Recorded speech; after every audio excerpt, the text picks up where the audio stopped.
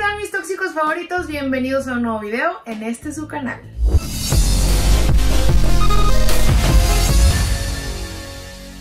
Chicos, ¿cómo están? Espero que estén súper, súper bien. Yo estoy muy contenta, muy feliz de estar aquí en un nuevo video más porque el chisme del día de hoy, hermana, hermano, está sabroso, está potente, está fuerte.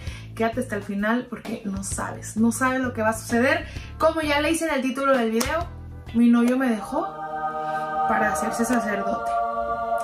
Ay, hermana, esta triste historia, esta santa historia, tienes que escucharla. Así que si ya te suscribiste y activaste la campanita de notificaciones, ahora sí, vamos a comenzar. Bueno, hermana, esta historia comienza en la secundaria. Eh, yo conocí ahí al San Cucaracho, vamos a ponerle el San Cucaracho, ¿no? Eh, su familia era muy religiosa, o sea, muy religiosa y no me querían. No me querían, hermana, no me aceptaban. Decían que yo no era buena mujer, no era buena novia. Íbamos a la secundaria, estábamos muy chiquitos, pero bueno, nuestra relación empezó desde la secundaria. Entonces así duramos muchos años, muchos, variecitos, variecitos. Pero su familia no me quería. Y yo, o sea, yo la verdad es que sí lo quería mucho, lo quería bastante, bastante. Y yo decía, bueno, no importa, voy a seguir tratando a los papás para que me acepten. Este, no sé, hermana, haciéndole la barba, porque yo sí quería estar con él. Pero el problema eran sus papás que no me querían. Y fíjense, sus papás eran, les digo, súper religiosos y mandaban a mi novio a retiros espirituales, religiosos, allá al monte, a no sé dónde, con tal de que no estuviera conmigo. O sea, si hacíamos un plan, si yo le decía, oye, pues fíjate que este fin de semana hay una... Ay, no, no, no puede ir mi hijo porque va a ir con Dios, sí, a un, a un retiro. Sí, no, no puede, no puede. Hermana, a ese grado llegaban sus papás. Les digo que yo hacía todo lo posible por caerle bien a sus papás. O sea, yo la verdad es que no era religiosa, no era católica, no era nada. O sea, yo no creía en eso. Yo respetaba y respeto mucho las religiones, pero yo no creía. Imagínense, yo iba a misa todos los domingos con mi novio con tal de caerle bien a sus papás. Pues para que vieran que me esforzaba, que mal, mal, porque dejé de ser yo, hermana, dejé de, de, hacer lo que a mí me gustaba con tal de complacer a sus papás y pues estar bien con él. Entonces nuestra relación la verdad es que iba súper mal, o sea, tenemos muchísimos problemas, sobre todo pues por sus papás. Bueno, hermana, nuestra relación se estaba yendo literalmente a la basura. Ya no, o sea, por más que tratábamos y por más que luchara por, por, la relación, pues no se podía. Así que un día llega mi novio y me dice, ¿sabes qué? Pues va a haber un retiro espiritual, porque generalmente sus retiros duraban dos días, tres días, ¿no? Me dijo, va a haber un retiro donde va a durar cinco o seis días más o menos. Y pues yo creo que voy a ir pues para tratar de que de, pues, de solucionar los problemas, de darme un tiempo, de pensar, de ver qué puedo hacer contigo, con mis papás, pues para que se la lleven bien, porque para mí también es muy desgastante saber que mis papás y tú no se la llevan bien, ¿no? Porque pues obviamente amo a mis papás, también te amo a ti, pero es muy complicado, entonces yo creo que me voy a ir a ese retiro para pensar, analizar y pues tratar de arreglar los problemas contigo. Y yo le dije, bueno, perfecto, si esa es la solución, venga, vete. Total, hermana, pues que se va ese dichoso retiro. Yo la verdad es que sí estaba triste, o sea, no te voy a ser, te voy a ser honesta, bien, te voy a ser honesta, no te voy a mentir. Yo sí estaba triste porque yo sí quería solucionar los problemas, yo sí quería estar con él porque yo sí lo amaba, o sea, yo sé que él también me amaba, me amaba. Pero es que... Es que los papás no se deberían de meter en las decisiones de sus hijos así, o sea, sí, pero no a tal grado de, tener que elegirle la pareja, de decirle no, con ella no, con él pues déjenos equivocarnos a nosotros. Total, si no era buena persona o buena novia para su hijo, pues con el tiempo se iba a saber. Eh, o sea, llevábamos ya varios años juntos. Entonces, pues yo nunca le había hecho nada, hermana. Nunca me había portado mal con él. Entonces, pues a mí se me hacía muy mala onda, ¿no? Yo lo extrañaba demasiado, lo extrañaba de verdad muchísimo y ella ansiaba porque llegara el día que regresara de ese retiro para decirle que no me importaban las circunstancias, no me importaban sus papás, yo iba a seguir con él y yo iba a seguir luchando e insistiendo por el amor, porque al final el amor triunfa. Les digo que el retiro pues este duraba como 5 o 6 días, entonces él me dijo que ese retiro era como un tipo bosque donde pues para empezar no les dejaban usar celular. Y ahí pues no iba a tener señal, entonces yo iba a estar completamente incomunicada de, este chavo. Y dije, bueno, pues ya, ni modo, ¿no? Ya me toca esperar, hermano. Imagínense cinco días sin saber de su novio, ni un mensajito, pero bueno, por lo menos sabes que está ahí en un retiro con Diosito y todo bien. Ay, hermana, ay, hermana, pues siéntate que te me vas a caer. Porque regresa. Haz de cuenta que me lo cambiaron. Haz de cuenta que yo dije... me, tú no eres mi novio. Hermana, súper cambiado el, el tipo así como muy serio, llega y me dice, ¿sabes qué, a mí Tengo que hablar contigo. Eh, ahora que estuve acá en el retiro, pues me di cuenta que la verdad es que no, no puedo estar contigo y no quiero seguir contigo porque... Y yo, no, no, pero es que espérate, yo te iba a decir que no me importaba lo de tus papás. Me dice, no, no, no, no, no, es que no es eso. Lo que pasa es que me di cuenta que de hoy en adelante quiero entregarme solo a Dios. Entonces me voy a hacer sacerdote. Y yo, ¿qué? ¿Cómo? A ver, ¿cómo?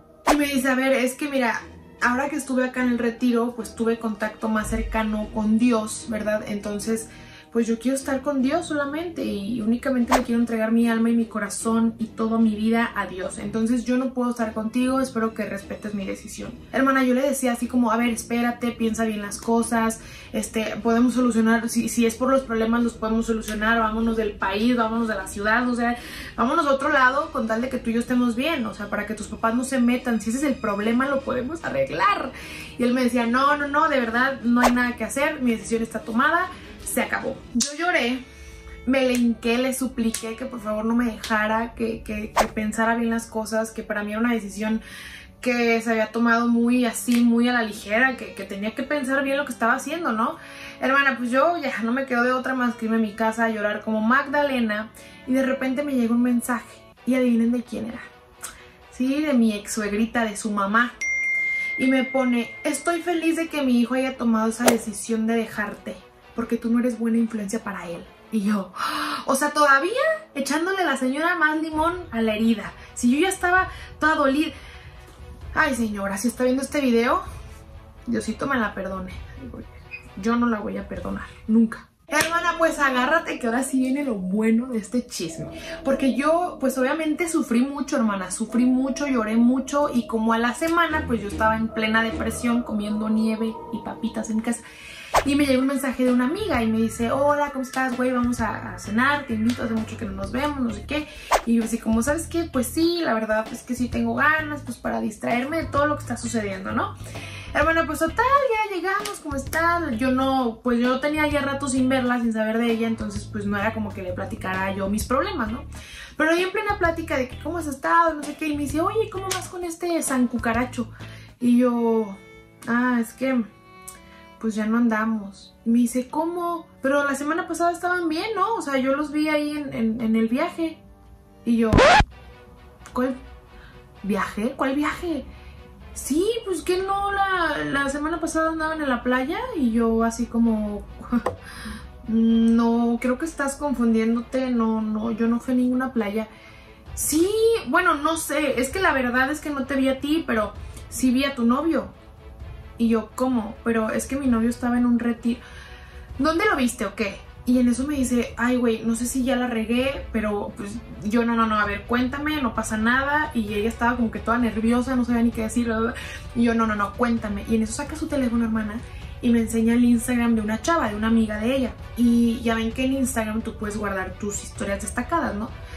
Y en eso me dice, güey, ve. Y entonces la chava había guardado en historias destacadas ese viaje a la playa de la semana pasada. Y me enseña las historias y las empiezo a ver. ¿Quién creen que andaba ahí? Así es, hermana. El San Cucaracho andaba ahí en la playa. ¡Qué retiro! ¡Qué Dios! ¡Qué nada! Este güey andaba en la playa, toda mal. Yo estaba acá sufriendo, pensando cómo arreglar las cosas, pensando en eh, qué regalarle a los papás, pues para que nos cayéramos bien. Y este infeliz en la playa, no, hermana, pues ahí ando cambiándole las pinches historias, viéndolas, tomándoles foto, pues para yo tener la evidencia, ¿no? Y, veo que estaba con un montón de chavas, no sé qué. Y yo así como, qué tonta, qué tonta le creo. Pero es que ¿quién miente con estas cosas, hermano? Es que no tienen perdón. No tienen perdón y menos de Dios, menos de Dios. Hermana, pues en ese momento le dije a mi amiga, ven, ven, acompáñame, vamos a la casa de este infeliz porque lo voy a confrontar. Hermana, pues yo casi le tumbo la puerta, sale todo, me dice, ¿qué traes? ¿Qué te pasa? Si yo te dije, casi, casi sale así. ¿Qué te pasa, hija mía? ¿Vienes a confesar tus pecados? Casi, casi sale así, casi. Y yo, a ver, infeliz, ya me enteré que la semana pasada no estabas en ningún retiro, no tuviste ningún contacto con Dios, eres un mentiroso, porque mira, y que le enseñó las historias, hermana. Y él, no, cállate, cállate, no, cállate, no grites porque te van a escuchar mis papás. Y yo, no, sí, que escuchen, que escuchen, señor, señora, venga. Porque yo era el diablo, según esto, que yo no le convenía a su hijo. Venga. Y en eso que sale la mamá y me dice, ¿qué, qué, qué gritos traes? Y yo, a ver, ¿usted sabía dónde andaba su hijo la semana pasada? Y ella así muy, me dice, sí, pues en un retiro, en un retiro. Yo, no, andaba en un retiro, eh, un retiro, mire, mire su retiro espiritual, ahí en la playa, fumando, toda la cosa. Se queda así la señora de, que de, o sea, a ver, ¿es cierto lo que me está diciendo esta niña? Y él, no, no, eso fue ya hace mucho. Y le dice, no, no, no. Hace mucho no, porque a ti no te dejo ir solo a ningún lado, y menos a la playa, y menos con amigos y amigas. Entonces me vas a explicar de dónde es ese viaje. Y yo, ay señora. Y resulta que yo era la mala, ¿verdad? Y aguas, porque el que escupe para arriba en la cara le cae, señora, la carita le cae. Hermana, pues a este no le quedó de otra más que de confesarnos la verdad a la mamá y a mí. Nos dijo, sí, efectivamente, me fui a la playa. Eh, lo que pasa es que pues yo tengo otra novia y la verdad es que pues yo quiero estar con ella y de hecho me quiero casar con ella y yo no sabía qué hacer y tuve que inventar esto para poder dejarte a ti y pues yo dije, bueno, pues a ver luego qué le invento a mis papás. ¿Cómo ven? ¿Cómo ven este? Hermana, pues no sé en qué momento, pero yo nada más volteé y tras, cachetadón le plantó la mamá. Y yo ponga el otro de mi parte. Y venga para ponerlo en usted. No, hermana, el tipo estaba como que, no, por favor, es que tienen que entenderme que en el corazón no se manda. Y yo, mira, está bien, pero hubieras tenido el valor, los pantalones, los de venir a decirme que pues tenías a otra, güey. ¿Para qué metías a Dios? Señora, dígale que eso es pecado. No, es que su hijo andaba pecando allá, ¿cuál mendigo retiro? No, no, no, no, no, o sea hay que tener los pantalones para decir la verdad. Hermana, yo me fui llorando de ahí. Llorando con Magdalena por las calles como la llorona, gritando. Ay, no, yo estaba muy mal porque yo no podía creer lo que estaba pasando después de tantos años de relación, después de aguantar a sus papás, después de soportar las humillaciones de sus papás. Yo, yo seguía ahí, ahí, de pie, firme. Y este hombre dice que un encuentro con Dios, no, un encuentro con, la, con la novia. Y bueno, hermana, para finalizar esta historia, pues la mamá un día llegó a mi casa así, de la nada, llegó, me pidió disculpas, me pidió perdón por todo lo que me había hecho en algún momento. Yo le dije que estaba bien, que no se preocupara, que yo no le guardaba rencor, pero la verdad es que sí. Y pues me empezó a contar que su hijo se hizo drogadicto, hermana. O sea, se hizo drogadicto, se fue a vivir con la novia, se fueron de la ciudad y está embarazada. Eh, la mamá me contó que intentó ayudar a la chava, pues porque este chavo no se hizo cargo, obviamente, ¿verdad? Porque pues irresponsable. Y la chava pues dijo que no, que no aceptaba la ayuda porque también era como que como que estaba mal, pues también estaba mal en las drogas, en el alcohol y todo eso. Y bueno, así terminó el San Cucaracho. Moraleja, moraleja que yo le encuentro a esto. Yo creo que en la vida hay que ser honestos, hermana. Hay que ser honestos. Eh, por más que duela, más vale una verdad que duele una mentira que te haga sufrir toda la vida. Hay que llorar. Yo prefiero llorar un ratito que me digan la verdad a llorarle toda la vida a alguien. O sea, hay que ser honestos, hay que ser sinceros, hay que decir la neta. Si no quieres estar con alguien, sabes que no quiero estar contigo. No tienes que inventarte y menos rollos y menos meterte con algo que no se debe de meter. Cada quien su religión, cada quien en lo que cree. Pero yo creo que no debes de meter cosas que no van. Pero bueno, el San Cucaracho terminó siendo una cucaracha más de alcantarilla.